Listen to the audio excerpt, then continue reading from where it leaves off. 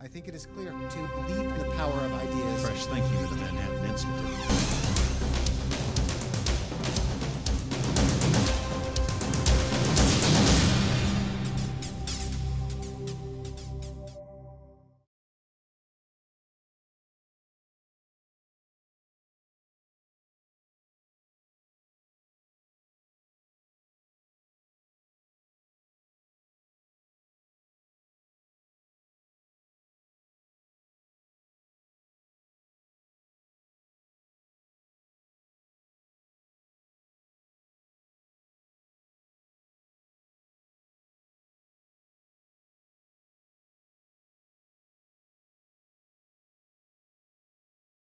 Thank you, Judge Birkett. That was really insightful and just something that came to mind during those remarks.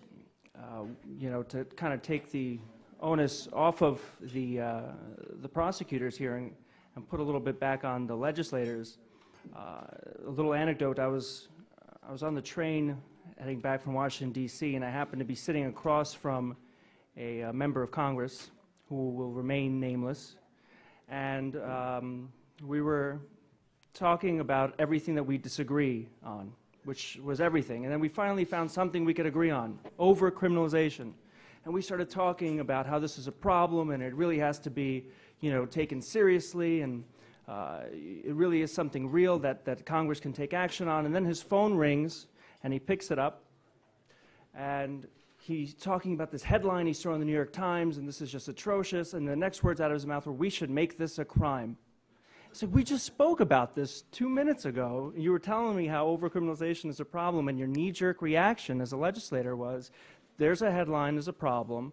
I can get ahead of it by making it a crime and, and have my name in the headlines for, for addressing this egregious issue. And so it, a lot of the responsibility does fall on legislators as well as you know prosecutors who are uh, exercising discretion given to them by broad and vague statutes that come from you know these these uh, reactions that uh, occur on an Amtrak coming from D.C. Uh, that's how our criminal laws are written. Um, so uh, I'd like to quickly uh, move to our panel discussion, which is I think just full of great experts, and, and we're going we're going to really get some insights on this problem on a and state level. And I'd like to introduce our moderator, who will then introduce the rest of the panel. Uh, he's a good friend of mine, Paul Larkin. Uh, he directs the Heritage Foundation's project to counter abuse of the criminal law, particularly at the federal level. As a senior legal research fellow in the Center for Legal and Judicial Studies, this overcriminalization project is part of the Heritage's Rule of Law initiative. Uh, Paul received his law degree from Stanford Law School and was a published member of the Stanford Law Review. He clerked for Judge Robert H. Bork of the U.S. Court of Appeals for the D.C. Circuit. In 2010, he received a master's degree in public policy from George Washington University. He also holds a BA in philosophy from Washington and Lee University in Lexington, Virginia, where he graduated summa cum laude with honors. And before joining Heritage in September 2011, uh, Paul held various positions with the federal government in Washington, D.C.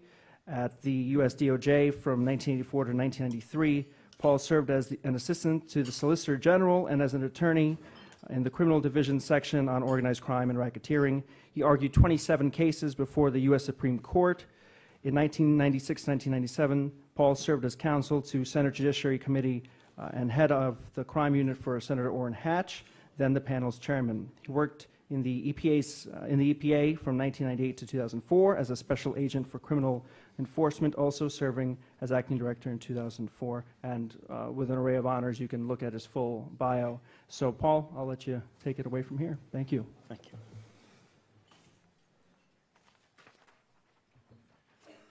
Isaac, thank you for the kind words, and thank you for the opportunity to come and moderate the panel discussion on the subject of overcriminalization, particularly as it affects Illinois.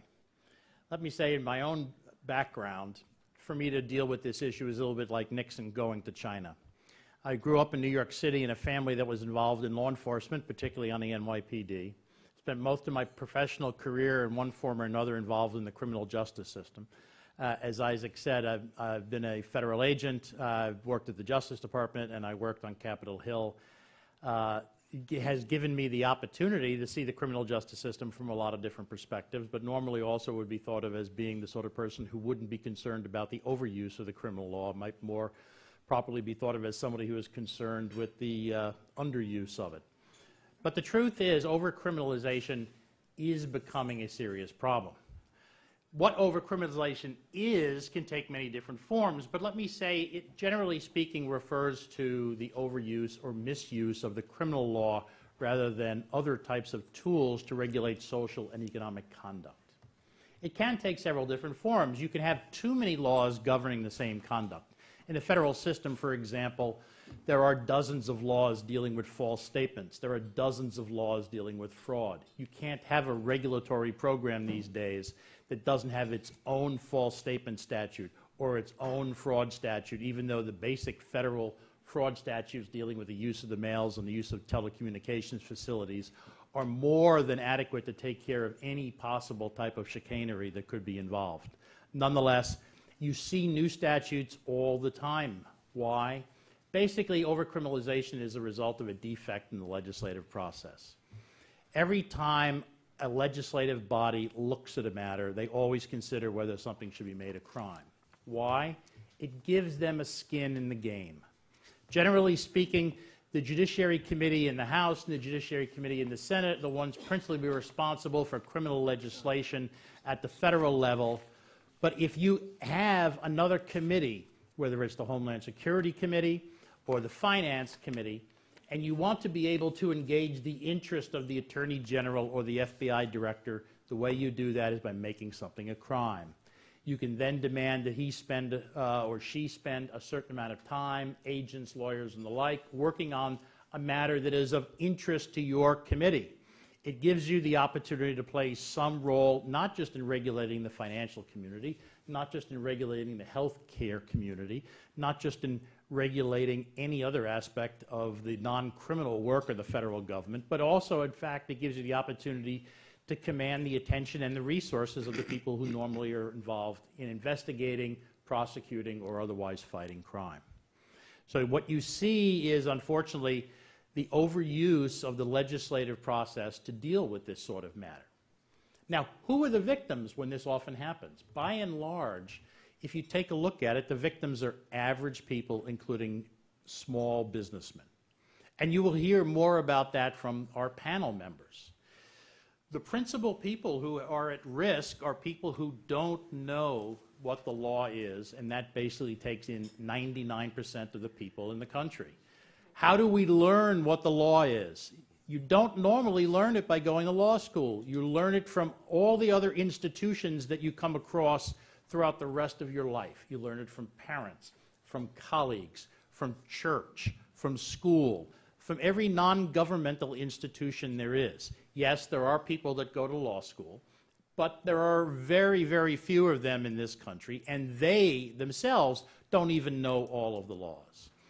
No lawyer, no law professor, no judge is probably as conversant with the criminal code in a particular jurisdiction as the professionals in that area the public defenders, the prosecutors, and the police. But the average person in the United States should not be required to consult a public defender, a prosecutor, or a police officer to find out what is permissible and what isn't. Unfortunately, we are starting to reach that point. The criminal law in the American, American system has always operated on the assumption that everyone knows what the rules are because the rules, by and large, reflect contemporary mores. We now have had the criminal law system since the Norman conquest. We now have covered every basic problem that you could have of interpersonal violence, interpersonal economic relations, and the like.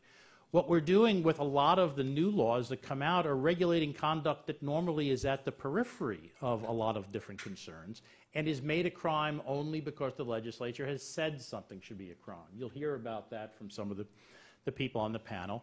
But I think what you are starting to realize is there may, in fact, be too many criminal laws out there. Too many for the average person to know, and certainly too many for the criminal justice system to hold people accountable for at risk of imprisonment. That's the subject of the overcriminalization concern. That is what people who are involved in this are concerned about, and that is what you're going to hear from three experts we have here. Our experts come at this problem with a wealth of experience in a variety of different fields legislative, executive, uh, private. We have people who have been public defenders or defense attorneys or prosecutors. And in fact, they've done different things in their careers. We have people who have worked in the legislature and worked in district attorneys' offices.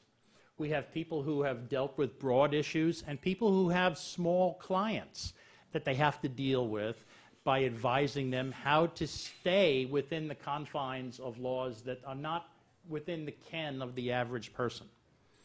They have both intellectual heft and practical experience in this field. And what they say is definitely worth listening to because they deal with this problem, as they say, you know, on the ground. Let me give you a little bit of summary about each of our speakers. We first will hear from Stephen Baker. Stephen is the legislative liaison for the Office of the Cook County Public Defender. A 1978 graduate of the Loyola, University of Chicago Law School, Stephen has been an assistant state's attorney and an assistant and chief public defender. And so he is a person who's been on both sides of the aisle or both sides of the courtroom, as Judge Birkett said. Stephen has been a liaison to the Illinois legislature for the Illinois Association of Criminal Defense Attorneys and the Cook County Public Defender's Office. He also has been president of the Illinois Public Defender Association and currently is a member of that board. After Stephen, we will hear from Erika Pfleger. Erika is the assistant director of the Institute for Justice Clinic on Entrepreneurship at the University of Chicago Law School a 1980 graduate of Yale Law School and a former law clerk for Associate Supreme Court Justice Antonin Scalia, Erika worked in private practice at Sidley and Austin, specializing in corporate governance, business transactions, securities regulation, and the like. She also advised Chicago area nonprofit organizations on governance and organization. At the law school, Erika supervises two L's and three L's, who help Chicago area lower income entrepreneurs navigate the legal challenges involved in starting and operating small businesses, such as setting up an organization, obtaining licenses, and not running afoul of the many different state and local ordinances that regulate what they do.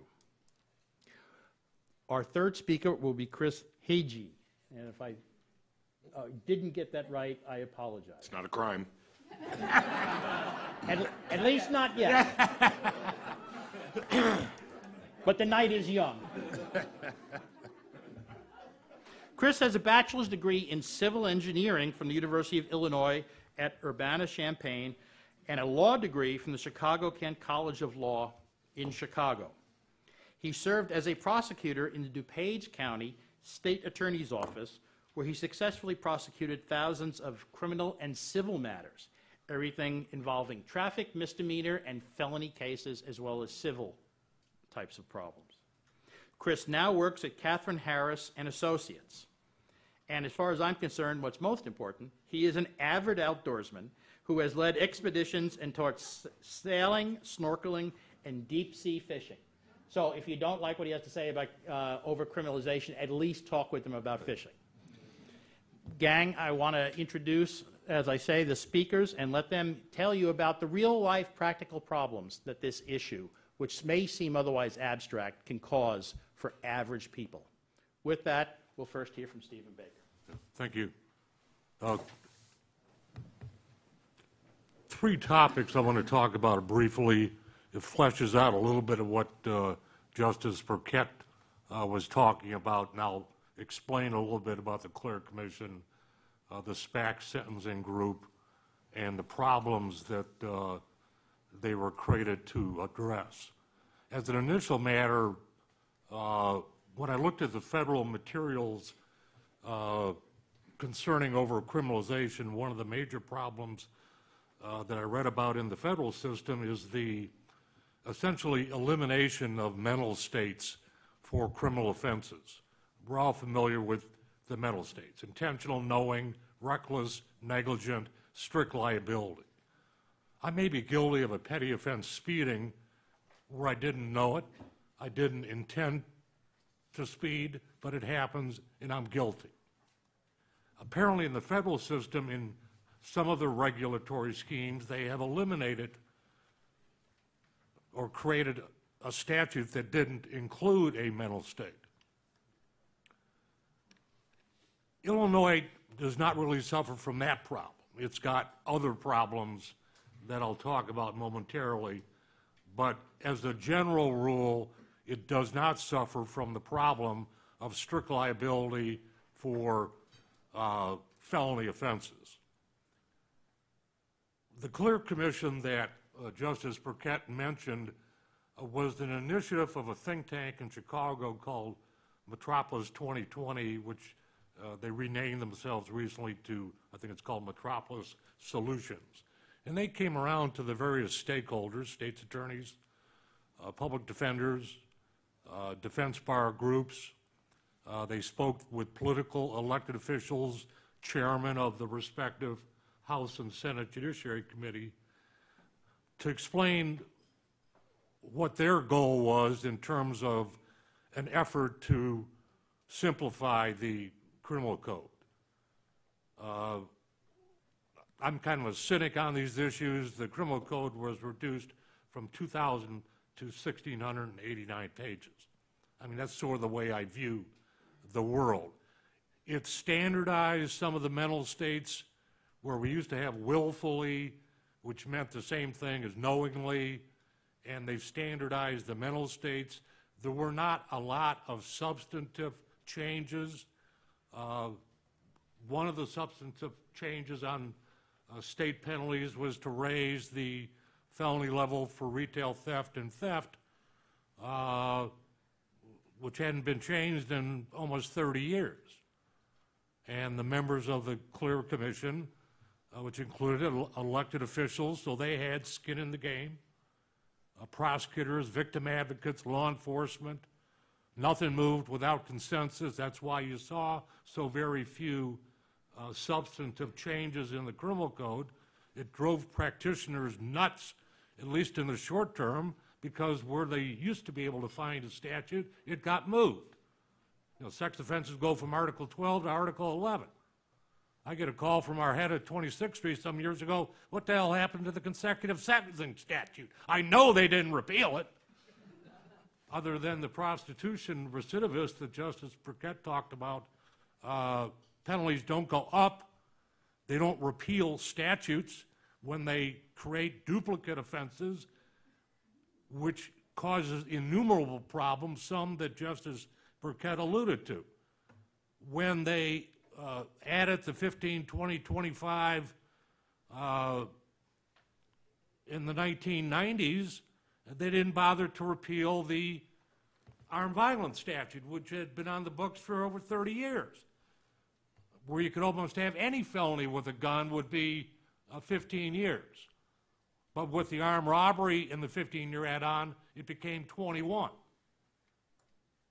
And Joe Birkett, I, through the State Bar Association, spoke with the governor's staff to say, you've got problems, not only in the way the bill was structured, uh, somebody must have given the Republicans acid in the 1990s because uh, for about a year and a half, they were passing all these multi-subject bills. They would include a sex offender penalty increase with a tax uh, to solve the leaking underground storage tank problem.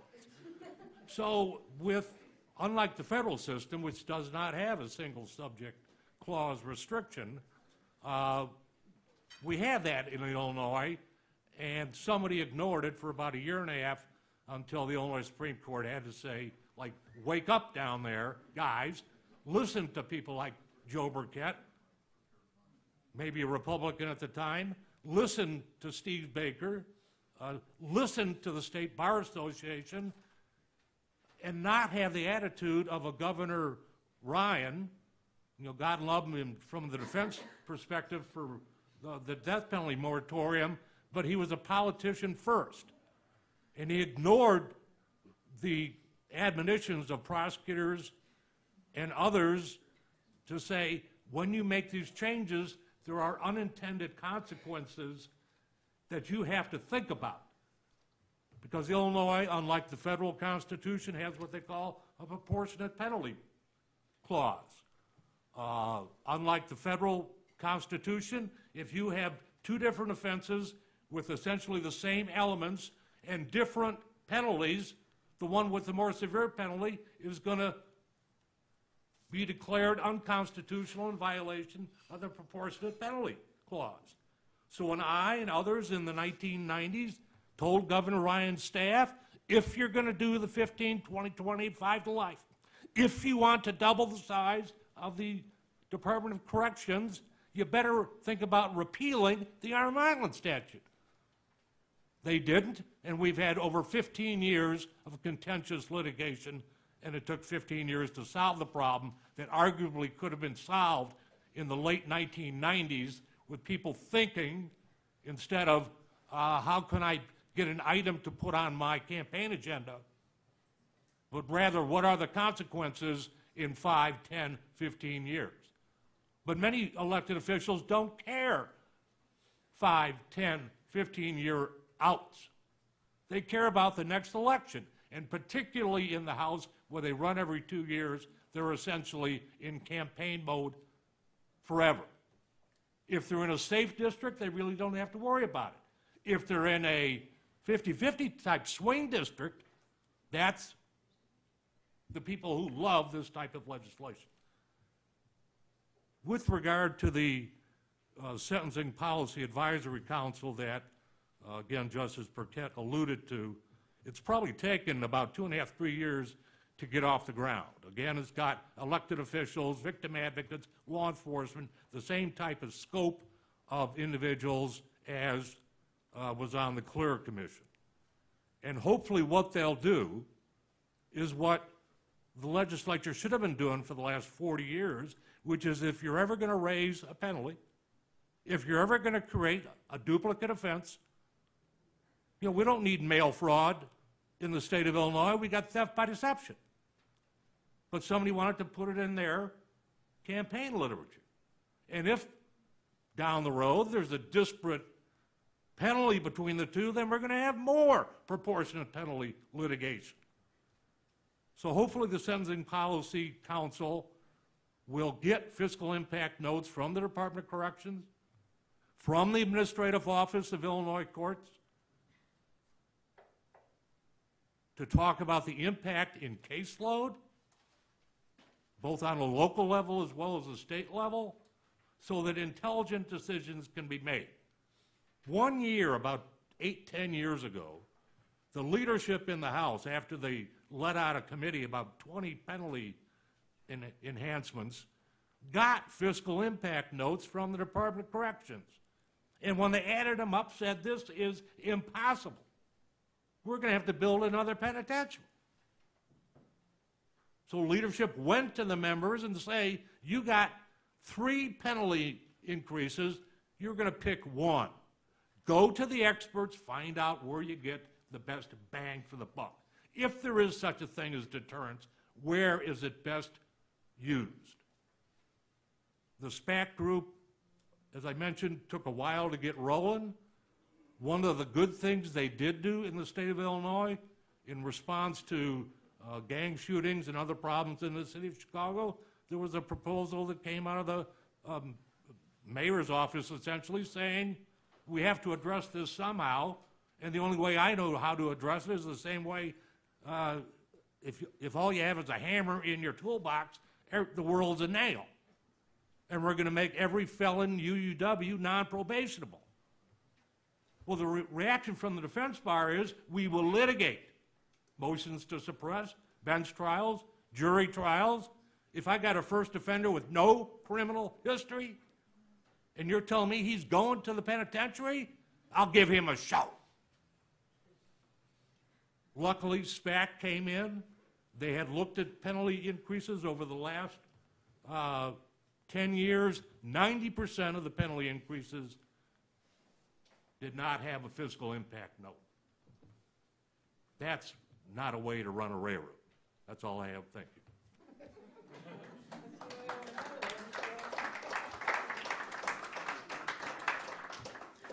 Erika?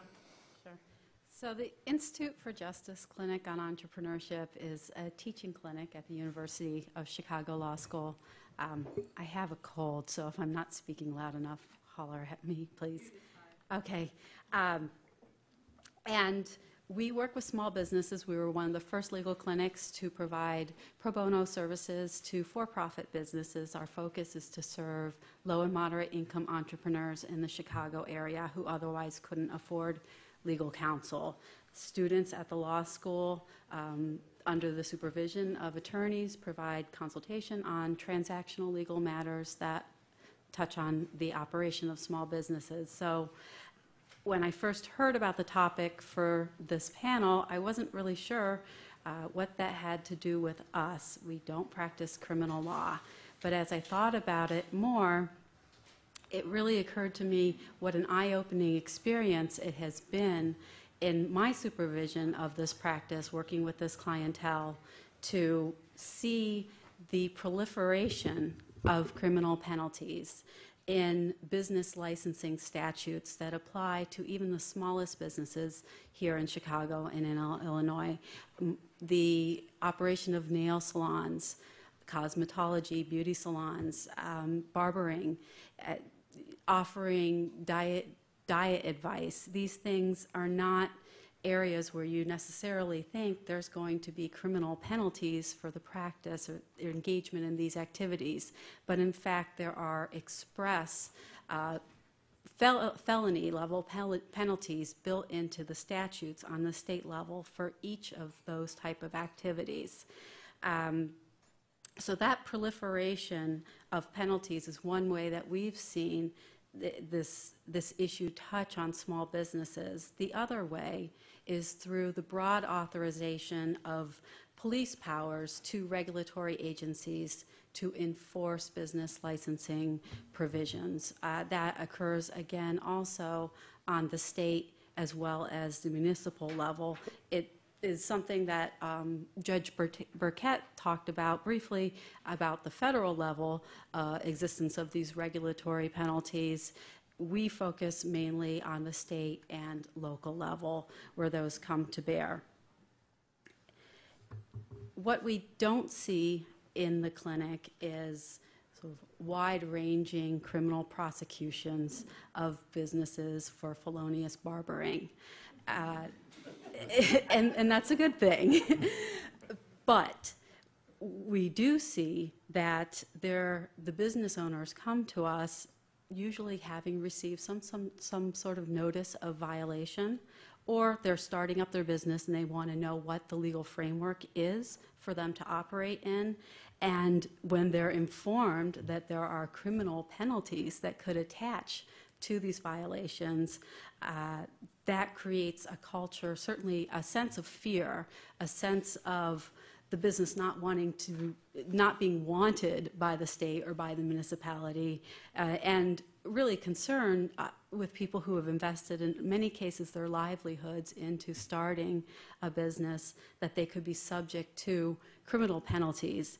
The criminal penalties are in many ways just the final layer on a structure that is more civil but also difficult for the businesses to operate in. And, and I mean by that that the, uh, the laws, the licensing laws that govern the operation of the businesses can be very vague and difficult for the businesses to determine what their scope is. And that, and when you're talking about businesses that, for the most part, don't have access to legal counsel, And we have a roster of approximately 20 businesses that we'll work with in a given academic year the vast majority of nail salons and uh, you know small food businesses are not consulting with legal counsel to help guide them through this regulatory framework. They historically, if you think about mom and pop businesses, they haven't really required legal counsel to navigate the legal framework in which they are operating. But the complexity of these laws and the ambiguity that's built into them is creating a situation where it is difficult for the small businesses to operate without that guidance or where they can easily step over the line, sort of a trap for the unwary, and find themselves in violation of a business licensing provision without intending to do so or multiple violations. Uh, one thing that is routinely built into these provisions, both on the state and on the, on the municipal level, is that each day that a business operates out of compliance with the code or with the statute is another violation. And the criminal penalties that are built into these uh, provisions usually trigger off of a certain number of violations. So the first violation wouldn't necessarily trigger a criminal penalty, but multiple violations would. And so it's very easy for a business to inadvertently step over a line and find itself in a situation where it is not only potentially liable for financial uh, penalties, but also criminal penalties like I said, we don't necessarily see that in terms of wide-ranging prosecutions, but it's the threat behind it as the businesses um, are operating in, in these environments. It's also very easy for businesses, uh, even innocent businesses, to have reputational damage just from the allegation of a violation or the cost of trying to contest a violation, which can be difficult to do without legal counsel, and, and frankly, from my experience, difficult to do even with legal counsel. Uh, the interpret the state and local licensing laws leave a broad discretion in terms of interpretation of the requirements, and um, they are not necessarily enforced equally, even throughout the city, for instance. One example of that would be that it is not possible, actually, for uh, food vendors, uh, cart vendors, like tamale vendors, to get a license in Chicago to operate legally. But in many neighborhoods, that law isn't enforced and they, they operate. You've probably seen them if you live in the city in, in different neighborhoods and without a threat of enforcement. In other neighborhoods, there's police powers that are brought to bear consistently on those vendors, and tickets are issued, quasi-criminal and quasi-criminal citations for operating without a license. The food will be destroyed oftentimes, uh, bleach dumped on it, and um, it, it's not enforced consistently throughout the city, but more importantly, what we hear in our work are people raising the question of why are the police powers even being brought to bear on these particular individuals? So, for instance, a tamale vendor is having his is receiving a criminal citation and having his or her foodstuffs destroyed, and there are drug dealers operating across the street, and the police powers are not focused there. So that's the kind of thing that to me was a surprise coming into the clinic and seeing that this is the environment that small businesses are operating in. Um, the other aspect that we see, in addition to sort of express criminal penalties that are built into the statutes, are broad catch-all provisions that, and this is particularly true in the Chicago municipal ordinance. I, you know, I had a handout and I'm vaguely following it, but a few things that I wanted to point out because these were real eye-openers to me is that any person who fails to obey any order of the Commissioner of Chicago's Department of Business Affairs and Consumer Protection in connection with a business license is ultimately subject to a two to ten thousand dollar fine and up to six months imprisonment. Uh, that's just a broad catch-all built into, built into the statute that doesn't even um, that is duplicative, duplicative in some circum circumstances of the express jail provisions that are built into other licensing categories under the Chicago Code. And I pointed some of those out in the handout, but there are jail provisions built into the code for the unlicensed provision of doggy daycare services, for, for the unlicensed activity of delivering letters by bike messenger in the loop. And again, a question of whether these are the types of activities where the police resources should be targeted um, when there are a lot of other concerns here in the city.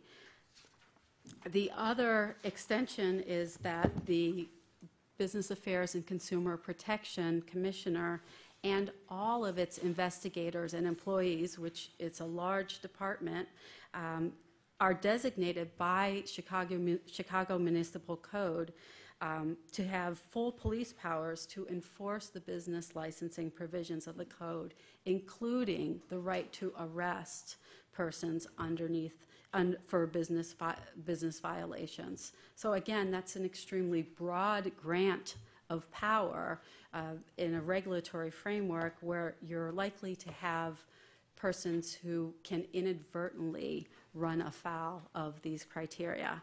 So I'll stop there, and, um, but I- there's more in the handout, and hopefully more I can answer questions about. Well, that uh, dovetails nicely into what, uh, what I think about in terms of this subject matter. Um, I became a prosecutor because I, I envisioned I would be trying murder cases and dealing with violent offenders, and, and instead, uh, Mr. Birkett rewarded me with the child support division, um, where I prosecuted deadbeat dads. Um, with some consolation, I got to put people in jail. And uh, I put a lot of people in jail. But uh, quoting Arnold Schwarzenegger from True Lies, they were all bad. Um, but this, this is what, this is what we're dealing with. People want to comply with the law, and that's what Erika's talking about. If people know what the law is, they will adjust, rational people will adjust their conduct to meet the law or to avoid the, the criminal sanctions. Um, the people that I thought that I wanted to go and prosecute, and I, you know, did get some chance to do that, the truly violent ones, the rapists, the murderers, um, and this is where I would, I would guess I would disagree with uh, Mr. Baker. I believe in the death penalty. I believe in specific deterrence, and I wish it were still the law of the land. That having been said, that debate is gone. What are we left with? We are left with a rapidly escalating traffic situation in this state.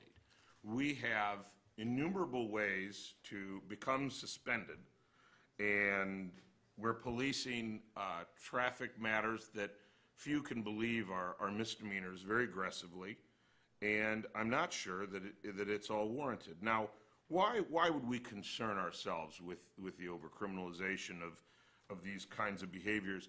We're creating black marks on people's records that are keeping them from doing their jobs, both directly by leading to suspensions and indirectly by giving the misdemeanors that they that are discovered later in criminal background checks, and they against a, a candidate from from some other, maybe even another state, uh, are going to be at a disadvantage. And we're doing that to our people. And I'm going to talk a little bit more about why that, what I what I mean by that in a little more detail. But but having seen all sides of this, I was a prosecutor for 10 years. I worked. Uh, I was legal counsel for the Illinois Senate Judiciary Committee. Um, and I've been a, a criminal defense attorney for five years now. And you see, you just, you just kind of see a, a, a little different uh, aspect of this every time you change a job. Now, I said I started off policing child support. We did that through contempt powers. If you didn't uh, abide by your child support order, uh, you could be held in, in contempt, not criminal contempt, but indirect civil contempt, and you could be incarcerated until the debt, the debt was paid, a, a purge. So it wasn't indefinite incarceration, it certainly wasn't prison. But there was, there was a criminal sanction created. Um, it kind of lurked out there as a threat, but it's very rarely applied. Um, it's, they're difficult cases. Uh, they're difficult to prove. It's like a, a business of financial crime. Uh, it's hard to prove intent when you're dealing with, with a paper crime or exchange of money or the lack of exchange of money. And, and who do you go after? Do you go after the, the very poor person who can't get a job when the construction industry is at a low and, and can't lay bricks and therefore not pay his child support? Or you go after the, the stocks and commodity trader who, who had a very large child support order and somehow has figured out a way to, to, to make their income uh, somewhat disappear and, and their, it's just a difficult, it's a difficult question, is, is very seldom used, but, but, but scary in its, in its implications. Um, one of the things I frankly do a lot of, of work with now is, is speeding tickets. Um, people finding out that uh, they didn't realize it. They, they mailed in tickets. They were promised supervision, or so they thought on the ticket. And lo and behold, they end up with convictions and rapidly lead themselves into a situation where they're suspended. They get a nasty gram from the Secretary of State. "Uh, What, what can I do about this? Then we have situations uh, in the last two to three years where aggravated speeding, uh, speeding 40 miles over the limit is a Class A misdemeanor. You cannot get supervision. Speeding 30 miles over the limit is a Class B misdemeanor. You cannot get supervision. While I made those two sentences, there were about 20 violations of that uh, misdemeanor statute on the last leg of 290 as the speed limit transitions into that 30 mile an hour zone as you approach the bridge. No one is going 30 miles an hour. I, frankly, thank God they're not. Um, I don't know how I'm going to get home. Um, so you, see these, you see these uh, come down the pike. Someone calls. I, I didn't know that was. I was passing through. I'm a CDL driver. I came through Indiana. I, I didn't hit the brakes fast enough in a construction zone, and now I'm facing a misdemeanor, which is almost certainly going to cost me my trucking job. You know wh- what's to be done about it? Um, wouldn't reckless driving cover this category? I mean, what if you're operating your vehicle at an unsafe speed, and it, you know that that seems like it would carry, um, it would carry the day. Um, if you're truly going 100 miles an hour in a you know a 40 mile an hour zone, I think you got you got some some evidence there. But suppose it's three o'clock at night and you're hurrying home on 90, and there's no other traffic. You haven't if there's no other traffic around you, you haven't actually put anybody at risk but you've committed uh, a Class A or Class B misdemeanor, un- not subject to supervision. Um, When you think about it, this is actually worse than a DUI, where you'd be under the influence of alcohol. You could actually strike another vehicle, cause an accident, some forms of injuries, not severe ones, but some forms of injuries. You could get supervision, Class A misdemeanor, have no problem, but speeding 40 plus, no one at risk, you, you could end up with a, you could end up a convicted misdemeanor um, speeding in a construction zone. We have taken uh, examples of, and I think the, the speeding 30-plus example was a, a young girl that was, was killed in a traffic accident, you know, it very, uh, know, pulls at the heartstrings, and a legislator uh, ran down and, and, and had to accelerate the, uh, the penalty provisions. Speeding in a construction zone was somewhat similar. I remember they were hot days. There were two incidents that I recall specifically, and uh, in the morning commute, uh, somebody lost, two people lost control of their vehicles, entered uh, the orange barrel areas, crashed into construction workers and killed them. But it wasn't actually, the speed wasn't the total story there. Both of those crimes, as I recall, directly involved alcohol. So they were DUIs, and causing the death would have been reckless homicide, and in fact, that, that would have been a felony. So, so why did we need to do what we did with speeding in a construction zone?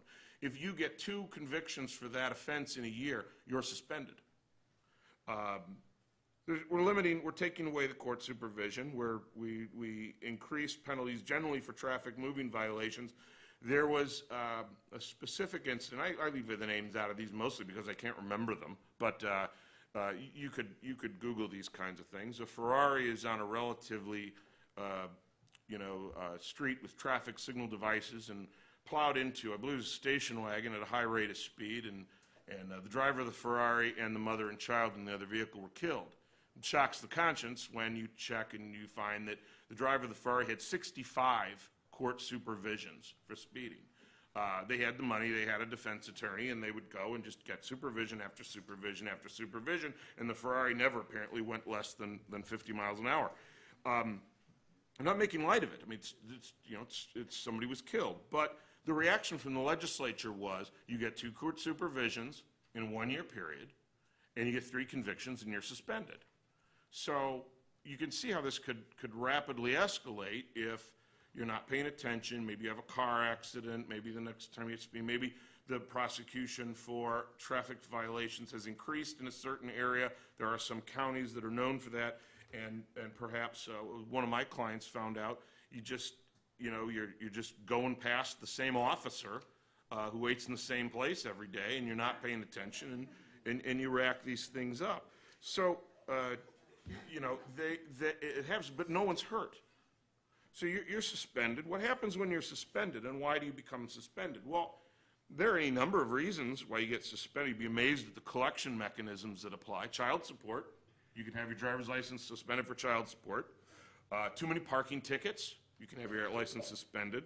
Um, Accidents that you didn't pay for, you know, you you didn't pay for whatever, they, that's a collection mechanism. They, um, Generally, money owed, owed the state for other missed violations. Um, Zero tolerance. So a youngster is at uh, an institute of higher learning, and uh, the police arrive, and, and, and everybody's been imbibing, and the officer reads you the zero tolerance warning, and no vehicle involved at all. Uh, You'll get a zero tolerance suspension lodged against you. The only way to challenge it is to have a full-blown Secretary of State hearing. So there, so DWS a number of driving while license suspended a number of different ways. What happens with driving while license suspended? It's a Class A misdemeanor.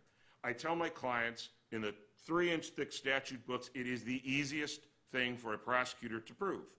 All they have to do is establish that you were driving. Any witness can do that, doesn't have to be a cop. I saw you driving down there by the Art Institute. And then they enter the court purposes abstract, the the, the self-authenticating document for the Secretary of State, that's the trial. How do you defend against that? You don't. So you end up pleading, negotiating, whatever. Well, they not fit uh, to leave that alone with its ease of proof. They've increased the penalties so that you are, on your third offense, you're going to be threatened with jail in almost any jurisdiction in this state. Um, On your fourth, you're looking at 30 days. Um, and then for DUI-based offenses, which are dangerous offenses, and I am running low on time, um, your first driving while license suspended after a DUI suspension revocation is felony eligible. Your very first one. And it rapidly escalates to where you get to 180 days, uh, mandatory im- imprisonment, that'd be jail or, or prison, and there's no day-for-day credit. And what we saw in uh, 2010, when uh, the prisons were full and, and Governor Quinn released, uh, released, had mass releases, uh, the DWLS offenders that had the 180-day provision stayed, people that attacked people with knives were released. And the turnaround time, I'm, I'm kidding you not, was, was some, some violent offenses was two weeks. You know, um, with the warden's credit and the way things applied and the, and the desire to, to, to, to make sure the prison levels were appropriate, those, some of those people were, were serving two weeks and going home. Whereas somebody who'd been committed driving with a license suspended, not hurt anybody, okay? It's essentially a status offense, we're sitting for six months solid. Um, other states don't do this, and I'll, I'll, bring this, end to a close. Um, in Oregon, state of Oregon, 20 convictions in a five-year period will get you suspended. Nevada doesn't recognize any out-of-state convictions. God bless them, there's nobody there, so speed all you want. Um, Indiana doesn't recognize court supervisions. If you plead guilty here and get a conviction, and you're driving back and forth, you know, you, you're, you're rapidly, uh, you're rapidly escalating, escalating your risk. I don't think that this uh, promotes a good respect for the law. I don't think that it is informed uniformly because of IS, uh, Illinois State Police budgets. I think there are stretches of the highway, there are very few troopers. Um, They're not, even if they, even if they wanted to, they couldn't capture everybody that's, that's, that's violating these statutes. So it becomes extremely random. And it makes uh, my clients and, and, and our friends and neighbors uh, very angry. Wh- Why are you bothering me? You know, why, why do I need a defense? Why am I being threatened with jail? And that disrespect for the law is, is going to have other, I think, long-term ramifications that, that I'm not sure we're comfortable with. Um, so that's my part. Um, speeding, not so bad. Murder, awful. Um, and um, I would yield to questions. Thank you. We'll take some questions from the audience. Let me just ask first, you wait until you get the microphone uh, to make it easier, not only for everyone to hear, but easier for the Manhattan Institute to be able to record the event. And second, please ask a question rather than make a speech. Does anyone have any questions at this point?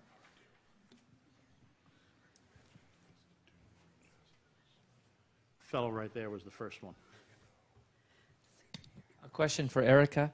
Um, advising someone to eat more vegetables, th- that could be a felony. Do I have to receive money for the advice, or what if it's just free advice? So- I said, like my grandma said, to eat more vegetables, and she was right. Now, felony? Your grandma is safe. Uh, so it does need to be for compensation, uh, but the framework in which this law could apply, uh, let me give you an example of where there can be ambiguities. If, uh, if you're a blogger and you've recently started um, adhering to the paleo diet, and you think this is a great diet, lots of meat, lots of vegetables, no grains, and you found that it's actually improved your health and you want to share that information with other people, you start blogging about it and you start offering to provide more detailed information about this diet, perhaps uh, in exchange for some limited compensation or a donation to your blog site. Uh, you could potentially run afoul of the restrictions on the unlicensed practice of nutrition and dietetic services. I say potentially because the statute is so broad. There's certainly a, you know a question. Uh, many people would argue that's an exercise of your free speech rights and not an unauthorized practice of a business occupation.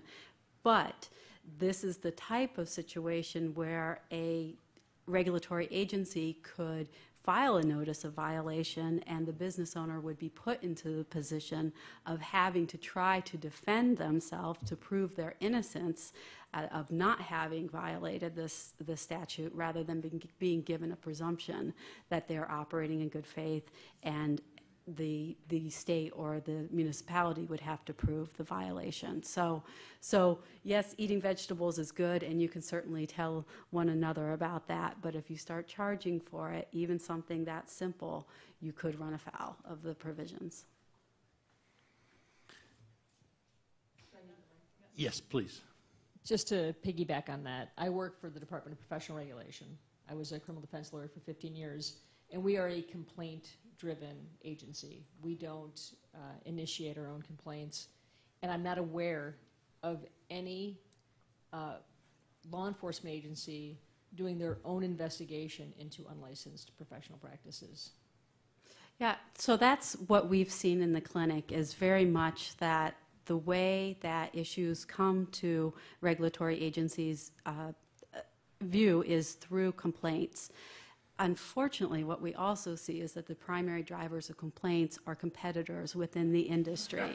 so it's not so much uh, consumers who have had a bad experience and, and are, are, are filing complaints, but competitors who have concerns about the, the competitive environment who are filing these complaints. So I would agree with that, that that's a primary way that these, these issues are brought to the fore. But a competitor who has a license is bringing it, who has gone to the trouble of securing their business and getting the correct uh, training or level of insurance which we require to protect the public is So- filing the complaint. That's, that's often the case. A, a business will have a license and will be sort of on the lookout for businesses that don't have that license.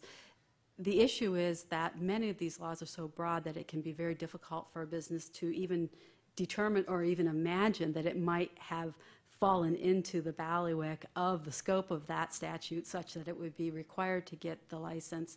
The other issue that comes up that we see is that the the statutes are written at a particular place and time where industry practice is a certain way, and then technological or other, other innovations take place that change the way people are operating their businesses. But the requirements, the statutory requirements, are based on an industry model that was from some time ago, perhaps, and doesn't take into consideration the uh, improvements or the modifications that an innovator in that area might bring into the competitive marketplace. So that's another area where I think businesses can get caught up not intentionally trying to be unlicensed scofflaw businesses operating, you know, unfairly in a realm where other businesses are licensed, but where simply their business model isn't one that fits into the regulatory framework, or it wasn't one where they even imagined that they would get picked up in it.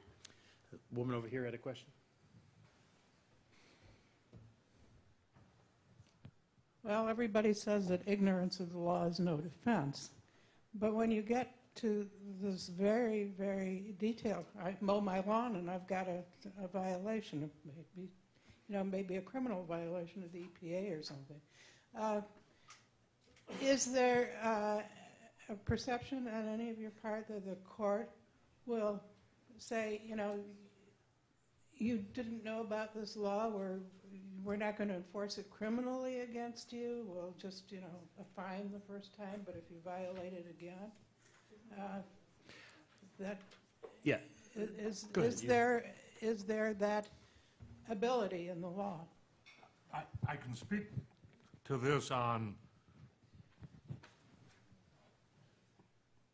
criminal felony misdemeanor area where uh, there may be a well-intended statute that's overbroad. In the criminal context as opposed to the civil context, you have this void for vagueness, due process challenge that's occasionally made. In a couple of cases that I've seen over the years, uh, both in response to uh, car thefts and uh, uh, gang drug people using their vehicles, open title, uh, even as it applied to a used car salesman. He didn't want to put in his name on the title to save the money, so he keeps the title blank. Uh, He has you sign it, and then when he sells the car, he puts in the buyer's name, and the buyer takes the title and gets the registration and a new title. That was a felony. It was enacted into law maybe know, 12, 15 years ago as an anti-stolen car initiative. Uh, But they didn't have to prove in criminal intent. Uh, So the court, in response to the constitutional challenge, added a criminal purpose into the statute. Now, some statutes they declare outright unconstitutional. Uh, Other times, they'll judicially uh, engraft a criminal purpose uh, language. Uh, We saw that in addition to the open title litigation. We also saw it for uh, secret compartments in your car. If you have a car accident and you're unable to replace your airbag, that arguably is a secret compartment. Yet there is no intent to house a gun or drugs. You just didn't have the money uh, to pay your deductible and get the car bag replaced. So in that instance, the court also added this criminal purpose into the statute.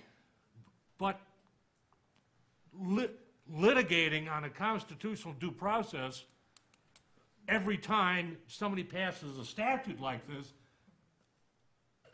expands upon the concerns to my left, when the criminal purpose should be in the statute to begin with.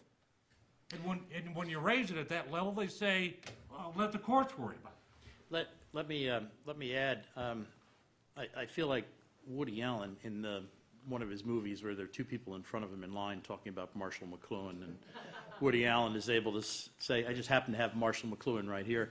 Because in this instance, I can actually speak uh, to the question with regard to something that Ed Meese and I just published within the last few months. Uh, in the Journal of Criminal Law and Criminology, we published an article called Reconsidering the Mistake of Law Defense. Historically, the mistake of law defense was unavailable in the federal system, uh, and in fact, it's been unavailable for you know, hundreds of years. But the reason it was unavailable was that the defense was rejected eight, nine hundred years ago when there were only nine felonies. Originally, common law had only nine felonies, and every one of the felonies was matched up with the moral code. Everyone knew you were not allowed to murder, to rape, to burgle, to swindle, do things like that. So the idea that you could say, I didn't know it was a crime, uh, was kind of silly because you knew it was immoral. It was a sin against God, and therefore it was a crime against the king. That's not true anymore. The problem we have now, ironically, is at a wholesale level. As my colleague talked about the void for vagueness doctrine, that deals with statutes at the retail level. If a particular statute is indecipherable, if it just is an ink spot where it actually is supposed to have a verb or a noun or something to tell you what it is you're not allowed to do, the courts will hold it unconstitutional because it's impossible for the average person to know what is prohibited. The problem now is with the complexity of and the intricacy of a lot of the codes out there, statutory and regulatory, the problem has been removed from a retail level to a wholesale level because no one can know all of the laws. You don't have the moral code as a go by. The idea that running a, a, a business like uh, Erika said should be kno- known to everyone as being a crime is just silly. Uh, whether or not the laws are on the books, they have to be understandable uh, to the average person. If they're uh, not understandable, because there are so many of them out there, then the average person is put in the position of having to consult with a lawyer before engaged in any sort of activity, which is an alien notion to the American criminal justice system. But available for reasonable fee at Kathryn Harry and Associates. In the, in the back of the room. Last question? Okay. Thankfully, I'm on a bicycle, so whatever I've imbibed uh, earlier this evening is not going to subject me to some sort of reckless endangerment or uh, Class A misdemeanor. So that's at the risk of violating the no speech uh, uh, injunction.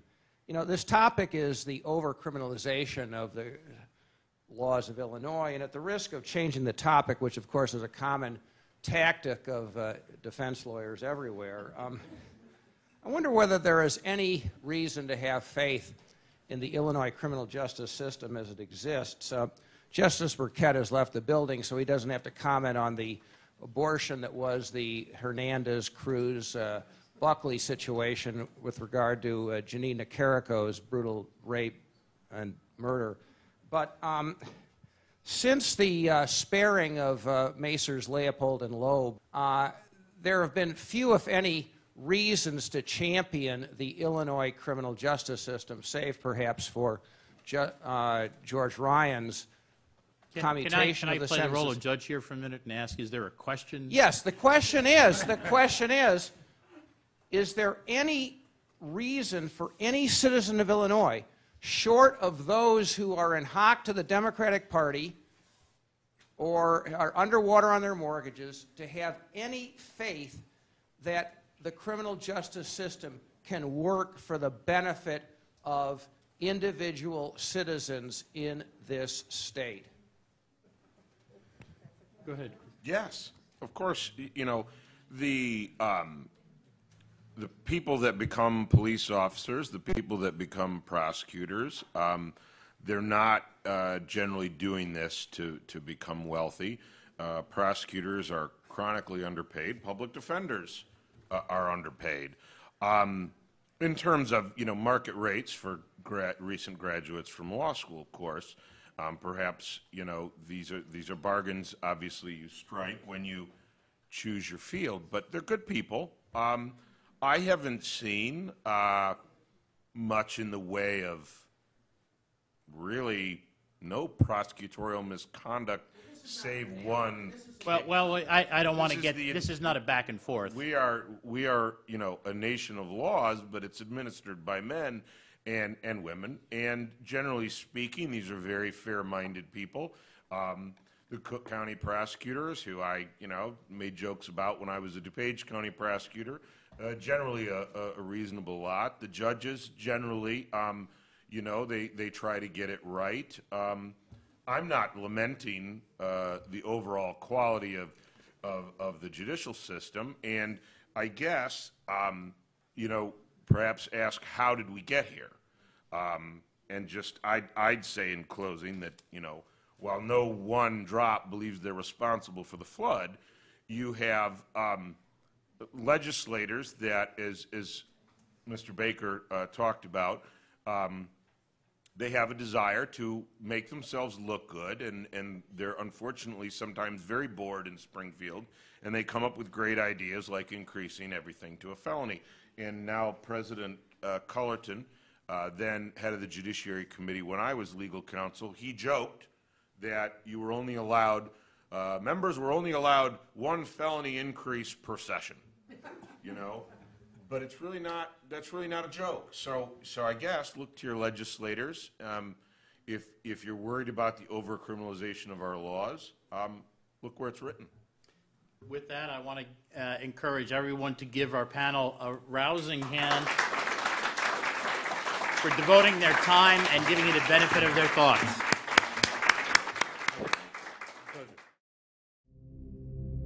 I think it is clear how fortunate we are to believe in the power of ideas. Supply the common sense and the fresh thinking of the Manhattan Institute.